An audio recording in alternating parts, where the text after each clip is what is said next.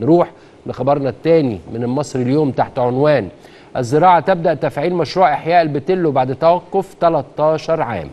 الخبر بيقول أن وزارة الزراعة انتهت من آلية تفعيل مشروع البتلو بعد التوقف اللي استمر لمدة 13 سنة اللي اقتصر تنفيذه السنوات اللي فاتت على القروض اللي كان بيتم توجيهها للصرف الاستهلاكي من الفلاحين وزير الزراعة واستصلاح الأراضي عبد المنعم البنا قال إن القيمة الإجمالية لتمويل المشروع بتصل ل 300 مليون دولار بحد أقصى 400 ألف جنيه لصغار المربين و2 مليون جنيه للشركات والجمعيات بفايدة بسيطة قيمتها 5% متناقصة.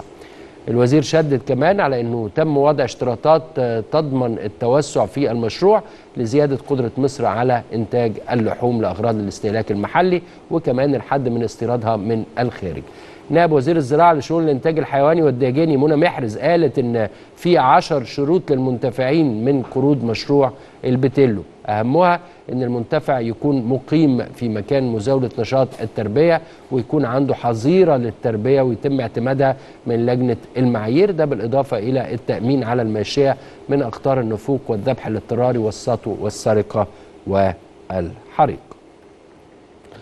آه طيب إحنا معانا على التليفون نائب وزير آه الزراعة للثروة الحيوانية والداجنه الدكتورة منى محرز أهلا وسهلا بحضرتك دكتورة قولي لنا آه في البداية آلية تفعيل مشروع البتلو اللي انتهت منها الوزارة يعني هل هنقدر نشوف الكلام اللي دايما بنسمعه عن البتلو ده وتوافره في مصر وتربيته هنشوفه قريب؟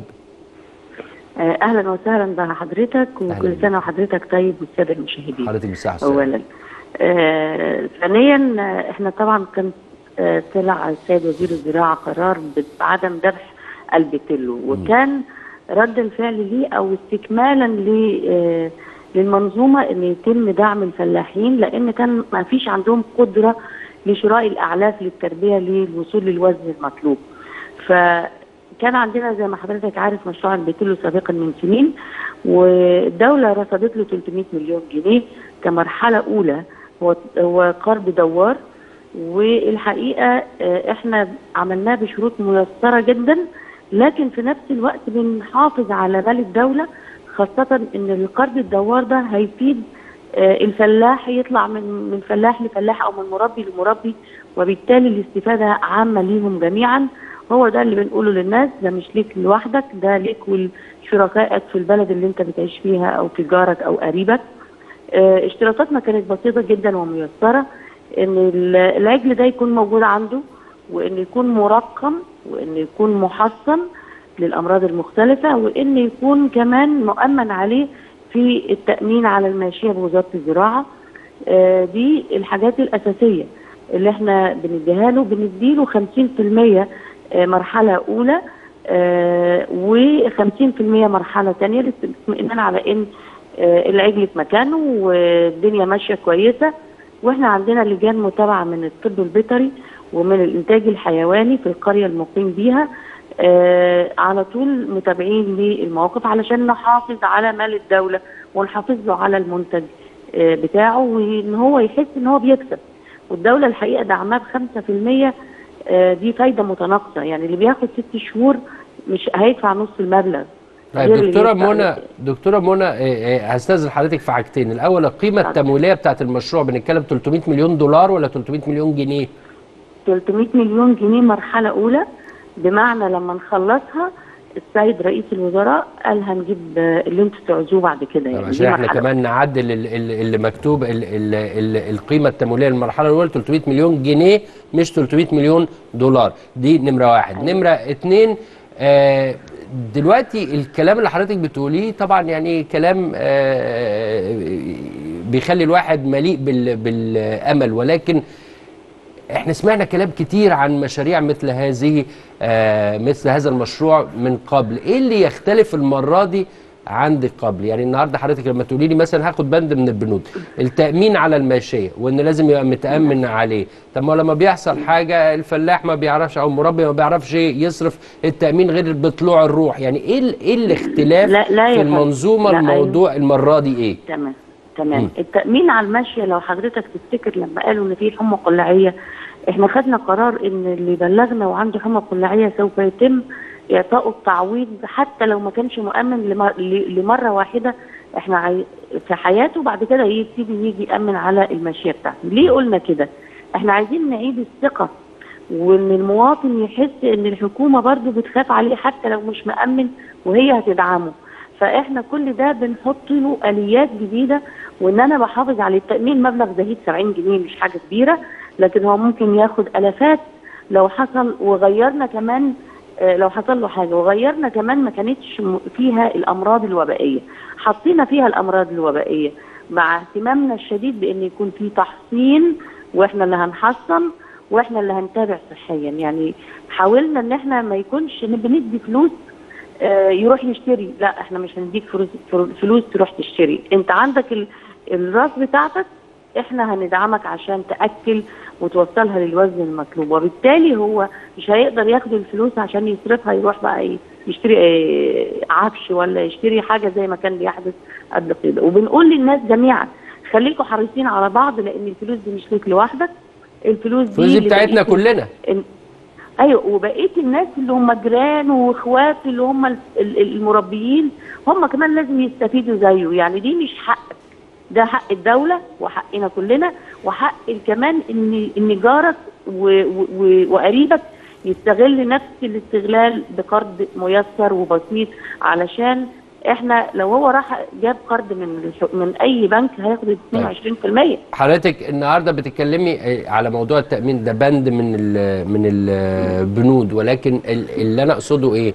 إيه الاختلاف. يعني هل العملية عملية منظومة متكاملة اللي حضرتك بتقوليه لي ده كده مدخلنا في سكة منظومة متكاملة يعني في برنامج. متكامل ما- ماشيين عليه بخطوات ومعايير و- و- وتحديد زمني لكل ال- المراحل هل أنا فاهم صح. ولا ولا في اختلاف كلام حضرتك صح والكمان الأكثر إن إحنا في واحد من القرية من الطب البيطري ومن الإنتاج الحيواني بيمضي على آه إن هو متابع شغلته يتابع المشروع مش بقى نسيبها بقى يعني عايمة على الكل لا أنت مت... الاثنين دول ومعاهم آه، زميلهم اللي في البنك بيتابعوا آه مر... ومين اللي بيراقب. على دول يا دكتورة منى إحنا عندنا طبعا هنا الإنتاج الحيواني آه، مسؤول وعندنا الطب البيطري والخدمات البيطرية مسؤولة هي سلسلة وإحنا لو حضرتك تلاحظ إن إحنا بقت السلسلة فيها تفاعل يعني الناس النهارده اتغيرت إحنا بنتكلم على طول على الواتساب مع الناس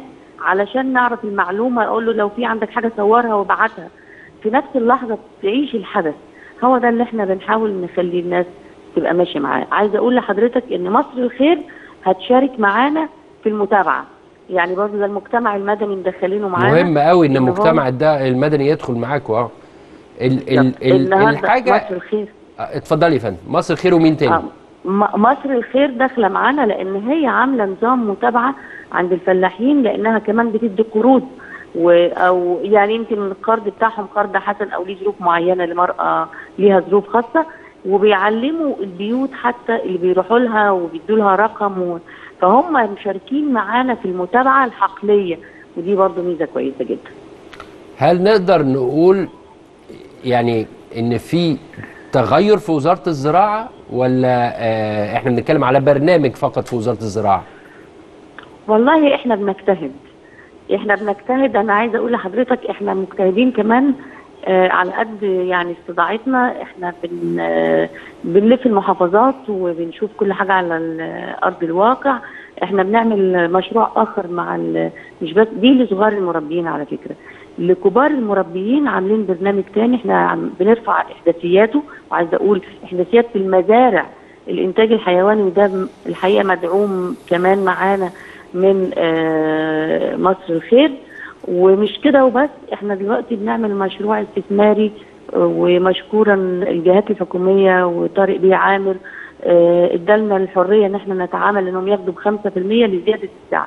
يعني المزرعة اللي عندها مثلا اللي المفروض تسمح ب 1000 راس وهو بيربي 300 راس. طب ما ده إهدار إهدار للثروة القومية بتاعت البلد. عندهم خبرات؟ عندهم خبرات. بيربوا بيربوا لكن ما عندهمش ملاءة مالية كفاية. إنهم يزودوا. أيوه فهم هي هم هيزودوا. آخر سؤال دكتورة منى بعد إذن حضرتك نعم. آه، آه،. إمتى هيتشال الحظر عن ذبح البتلو؟ مش لما يبقى بس عندنا اكتفاء ذاتي وده مش هيحصل. آه إنما ليه أنا آه، أفرط في في اللحمة اللي عايز ياكل لحمة خفيفة ياكل لحمة فراخ أو سمك. الدكتورة منى محرز نائب وزير الزراعة واستصلاح الأراضي للثروة الحيوانية بشكر حضرتك شكرا جزيلا على مشاركتك معنا.